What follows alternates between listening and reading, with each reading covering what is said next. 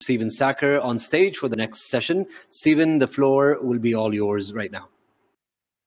Yes, sir. Thank you very much indeed. Uh, I'm delighted to be back with you. I hope you can all hear me both in Saudi Arabia and wherever you are following this uh, future hospitality summit. I am delighted to say that having had uh, Alex's really detailed, fascinating analysis of the numbers, what is happening to the uh, hospitality and travel business, uh, with all the data he presented, we can now hear from uh, an individual whose own insight and experience is many, many decades long, running one of the best known travel businesses founded in the UK, but now operating in so many countries, dozens and dozens of countries around the world, offering extraordinary experiences to travelers uh, for a very long time indeed. So please do welcome the founder and co-chair of Abercrombie and Kent, Geoffrey Kent. Geoffrey, are you hearing and seeing me? I can see you very well and um, very happy to be here. Well, we're delighted to have you because we've heard a lot there uh, from Alex about uh, the overall sort of data being generated by the tour and travel business, hospitality business right now through these many months of crisis. Uh, but I'm going to begin with a very basic question for you. You have been in this business for many decades. Um, have you ever seen anything like this pandemic in terms of its impact on what you do and how challenging the environment is today? Uh, one quick correction. I founded this company in, in Kenya in 1962, not UK. That's mm. okay. no, so uh, good, good. You reminded me, and uh, obviously from Kenya you've expanded around the world, but the question does remain, Geoffrey, Uh, just how does this compare with other difficult times you've lived through? I was trying to avoid that point. This is the worst.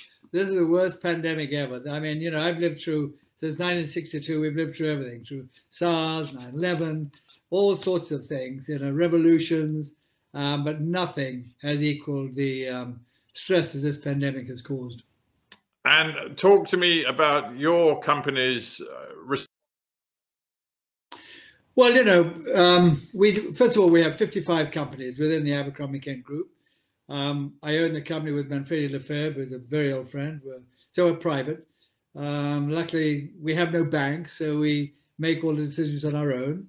Uh, we've got a terrific team of people who've worked with us. And like most companies, we cut back immediately, um, try to figure out what was going to happen, taking the worst, you know, almost the worst case scenario. Luckily, we're not, we don't have a great many ships. Uh, we're not an aircraft, so we're more a, a low cost uh, corporation to keep going rather than high cost. And um, we're literally treading water and waiting for the future. You know, we've started, you know, we're, we're probably the first people to ever start uh, eco tourism. I started way back in 1982. Um, we've already started to have um, trips back to Mount Kilimanjaro. We did two expeditions about two weeks ago. Um, people do want to come and see nature. And your and uh, your previous speaker is right. People are happy when they're in nature. It's our, our duty to take them back there. Yeah, I'm just reflecting on what Alex Dichter was saying, Geoffrey, that long haul right now is a particular problem. And so many of your customers are traveling to distant parts of the world, whether they're going on safari or to a, an extraordinary trip to some far off place they've never been before. So, what's that doing to your customer base? Well, first of all, we try to get back on the short haul. So, our UK companies start to sell villas, you know, over the summer, uh, villas in Italy, villas in, in France. Uh, the United States, we beefed up our on-ground operation in the United States, going to the various national park, whether Yosemite, uh, Yellowstone. Um, uh, we use private air where we can. And so that sort of helped a little bit. Uh, Australia, we did the same. Um, we're encouraging people, but as you've already surmised on the trip, our whole business model is dictated by governments. We can create any trip you want, but when the UK government comes back and says, sorry, all in quarantine now, as everybody rightly said, they're not going to travel. You know, they get the fear factor is just underlying and something like that pushes it over the edge again. So we actually have got to start some testing, straightforward, quick testing uh, product and not just wait uh, for the vaccination. Well, you say that's got to happen, but the question is really, will it happen? And if it doesn't happen as quickly as you want it to, will you have to start uh, fundamentally sort of uh, realigning the scale of your business? No, you know, we're here, as I said, we're here for the long term. I mean, we've cut back. There's little more we can do. Obviously, we say a prayer each day, hoping this is going to get better, but it is. But I think you're right. You know, the governments will dictate and will continue to. Um, and so we just have to, we're very nimble. We're an agile company. Somebody mentioned that word. Very nimble. I, I wake up every morning, but I think, where can we go today? What can we do now? I mean, I was on yesterday to my helicopter pilots in Kenya saying, why did we do a trip to Ethiopia? All the helicopters there. Why did we take? Because people want to know that they're in an environment that's safe. So if you do small trips with private planes, private aircraft, helicopters, nature, I think that's that'll be the first product that'll come back. I don't know if you would agree with it, but I think a lot of people see Abercrombie and Kent as a sort of more high-end uh, travel business. Do you think you are in a better place than the more mass market uh, tour operators and travel businesses?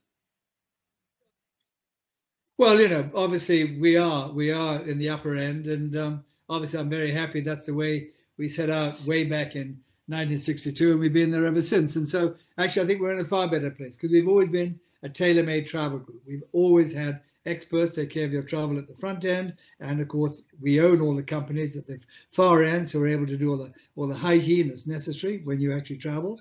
And so people will be asking tailor-made, highly personalized trips where they can ask questions at any time and some guarantee of getting them back if something goes wrong. And of course, they all have my cell phone and they do that. Do do that's a dangerous thing you're giving out there. But do, that's okay. Do you think uh, that the experience your guests, your your travelers have in the future will be fundamentally different from the way it's been in the past? What what will be different? Well, I think we could be living uh, with this for some time in a in a modified form. I think that we will always, probably for some time, have have face masks. I think we'll for some time have social distancing. Uh, we have to emphasize cleanliness and hygiene at every point of the travel uh, spectrum which which they're going through. So I think things will be a little different for a while. Yeah. Let me ask you about something that perhaps isn't considered so very much. We talk about, you know, the bottom line of your business. We talk about uh, the impact it's having uh, across your business, but we don't necessarily think so much about the local communities that your business operations are so important to. I'm thinking about you know communities in Kenya and other parts of Africa which have become you know so dependent on the jobs, the revenues that that your travel business injects into the local economy. At a time like this, when obviously numbers are right down and your your activities, your business activities are being reduced and limited, what can you do for those communities that have built such deep and strong and dependent relationships uh, uh upon your business? Well, we have something called Abercrombie Kent Philanthropy out of the USA, and we have Friends of Conservation out of the UK, and we've continued. We're already shipping a lot of food, shipping me- medical supplies, and we're continuing. That's to obviously Uganda, to our Bwindi project, uh, to Zambia, to Nakatindi uh, schools, to our Kenyan projects. But you're right, the sustainable tourism, which is so important for the future. We have to sustain the local tribes who in turn protect the gorillas. As I think you know my gorilla story that that idea has saved half the world's gorillas, uh, the one in Uganda. Um, fees come up. So we're very, these will come back, these will, these will bounce back quicker. People are already on the top of Kilimanjaro. Obviously, it's a nice, safe place, I'm sure, the top of Kilimanjaro at this minute, but people will come back to Uganda. Small camps, you know, gorillas, forests, and nothing has changed. People will but, come back. And I, I mean, be honest, Geoffrey, isn't there a temptation when you know your own business is suffering and margins are tight? Isn't there a temptation to scale back on some of the philanthropic and, and community-based work you do in the countries you operate in? They've definitely been scaled back. The, the key thing is we've got to keep the key thing, the key essential things moving, whether that's food and med- medical supplies. That you have to have. So we've been focusing in on that through Abercrombie Kent Philanthropy, which is a different organization from Abercrombie Kent. You know, it runs parallel with our company with its own management.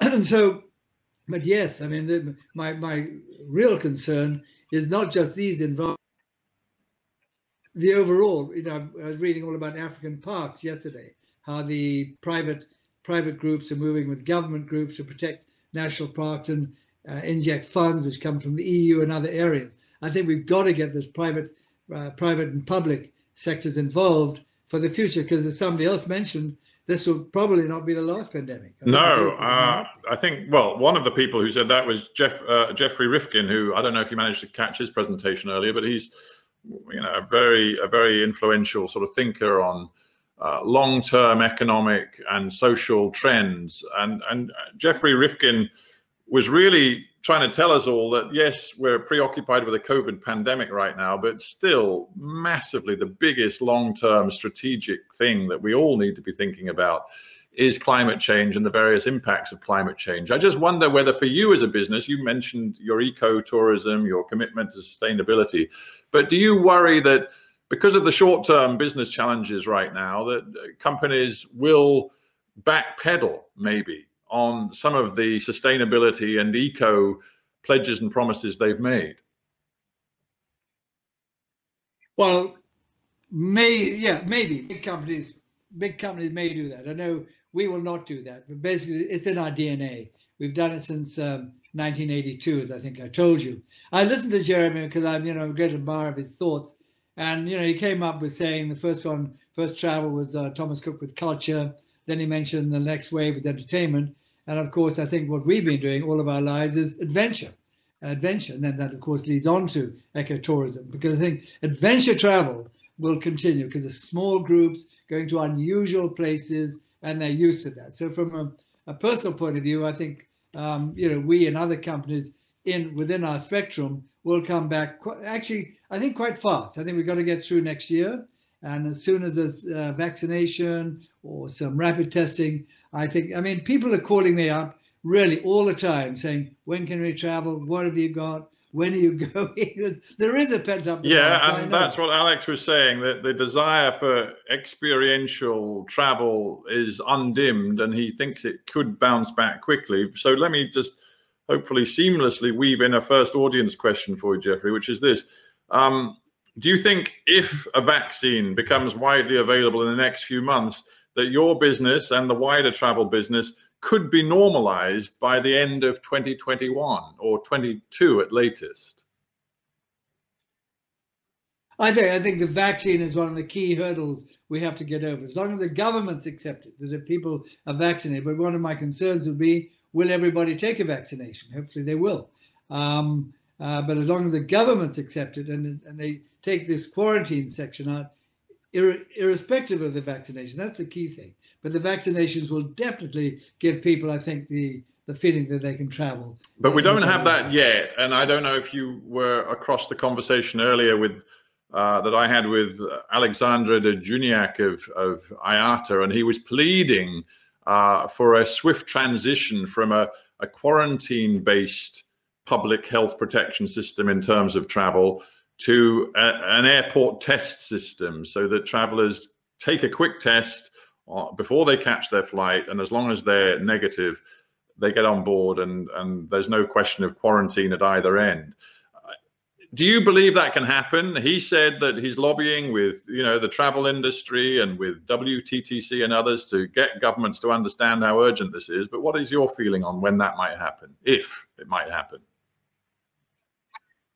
Well, well, I heard that, and I and I clapped because that's exactly what we need. You know, I'm a founder member of World Travel and Tourism Council. Um, I listened to Gloria's talk. We're pushing this hard and fast, and we have to keep pushing governments to somehow have rapid testing to take out the quarantine measures. Because if quarantine's there, people will not travel. How about this one? Uh, again, from our audience around the world, what do you think is going to change in terms of geographical destinations? as a result of this pandemic? Well, I think I think that um, Africa will definitely come up pretty fast. I think that the whole villa business, um, which was tailing off a bit, will come back again in Europe. I think South America will be very, very appealing to Americans. I think that I think the national parks of America will become very interesting again. That Americans always like to stay within their country for a while. I think that will that will catch on. I think that real adventure, whether it's tracking gorillas, climbing, going treks in Nepal, anything that's out in the open. I think that will catch on. And so, yeah, I think that what won't catch on, I think the big cities will tend to take a stumble. You know, I think that people won't be rushing to Paris, maybe not to London, maybe not to Milan, and so on. I think they they so can take do, a bit. do you see yourself repositioning your business at all as a result of this, or you're just going to sort of do more of the same? No, we're working. We're working frantically to change it. I mean, I myself, you know, I lead two or three trips a year with private jets. I'm going to start uh, some limited private jet trips to Africa. I have my big around the world trip in October, where we go to unusual places, and that's already got 40 people booked on it. So I think that um, I think that uh, as long as we start to work on personalizing it, making sure people feel happy that if they travel, we'll get them back. There's somebody they can call if something goes wrong, and they've got to be handheld. This fear factor is is lying just beneath the surface, and we need to get over it. We need to make them bold and travel. You need adventurers. We need a lot of adventures. Exactly. Let me ask you this one again from our audience. Uh, you kind of touched on it already, but how do you see the future of group travel? I guess as opposed to the individual traveler, is group travel going to suffer? People perhaps less inclined to travel in herds and, and want to do their own thing. What do you think? Well, we have a group travel business, which is uh, Cox and Kings, one of the oldest travel companies in the world, and I think that as long as the, as long as the groups are small and they tend to know each other, and that actually that you've done all the research, whether you've got the whether you've, you've accredited by World Travel and Tourism uh, Council with their travel safe, which is what we're doing everywhere. I think people will travel, but I think they've got to be they have to have confidence in the brand. They've got to know is this a real company? Have they really done the research? Are they getting into Land Rovers that have all the hygiene been checked out and so on? So I think small groups will travel. Large groups, big large groups, mm, I don't know. I'm not. It's just interesting you talk about the degree to which confidence matters so much. I mean, you can't afford to have a a big problem in any of your many, many diverse locations. So I'm just wondering how you can be absolutely sure that quality control, that the auditing of what your people are doing on the ground all over the world works as well, as efficiently as it as it must. Well, first of all, we're not a company that's a top down with a big headquarters over here and you know branches everywhere. All of our companies are wholly owned. So they have their own managing directors, whether it's Kenya, South Africa, India, Egypt, um, wherever, Laos. And so our own managers go out to our own camps, a lot of which we own ourselves, and make sure that all the hygiene is carried out, that all the tests are carried out with all the staff. And so I think we, of all people, have the model for the future, that it's highly, highly personalized. And it, what I call the last mile is tended to by people who work for us, not by agents. And so because they work, they know the, the high standards that we insist on. And so basically, Manfredi and I feel very confident that our model probably. Do you think your business? I'm just thinking about the long-term future, the strategic sort of vision of travel, tourism, hospitality. Do you think your business will be substantially bigger in five years' time than it is now? I think we shouldn't. I think we should aim at getting back to where we were. We got to get back to 2019. You know, I've always told that somebody told me once again from zero to one is the hardest thing in life. You know, all of us have been pushed back years and years and years of work to zero. We're at zero again. We're now going to get back to 2019. Put all of our efforts into that. Once we reach there or getting near there, then we can develop out. But I don't think we should be putting our sights on much more than that. Right? Just a, we're running out of time, Geoffrey, but just a quick thought from you. I always have seen you as a, a real sort of independent spirit in the travel business. And, and it's striking to me that right now, some people across aviation, travel, hospitality, whatever, are desperately seeking government interventions, rescue plans, uh, money from the state to help them get through this very difficult period.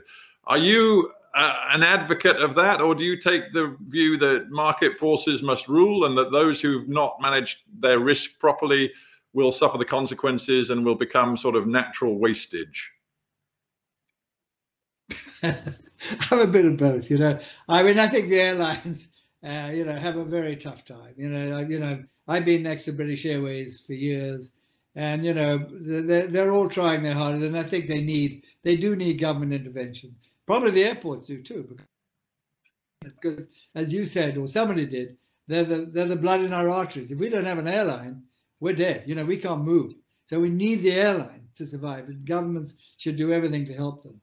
Um, so that's the one area that should be put into a box. The rest, I think, should survive on their own. And you know, too many too many dividends were taken out, and not enough money put back into keeping the. So we can going. we can take it as read, can we? That Abercrombie and Kent won't be seeking a government bailout of any sort.